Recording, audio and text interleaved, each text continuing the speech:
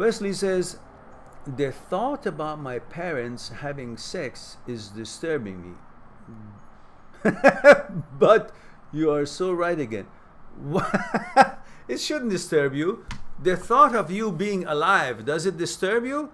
For that, your mom and dad had to had fun and had to have been uh, enjoying uh, being intimate with each other. So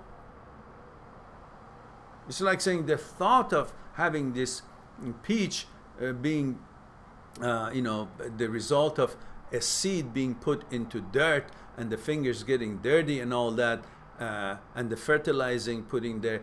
The thought of it is bothering you. The thought of having the peach bothers you? No. So for the peach to have been uh, Uh, there for you, the sweet peach to enjoy and get nourishment from it, it, the seed had to be planted in the dirt and the fertilizer and so on should have been there in order for this tree to become what it is so you can have the peach.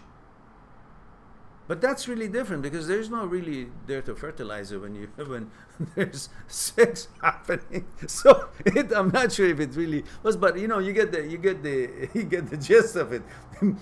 it can be disturbing because how come it's not disturbing when you're having sex? Now suddenly your parents, but I understand what you're saying.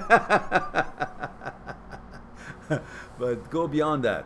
You know, they were you before they become them. Poor things. They also were, were young one day.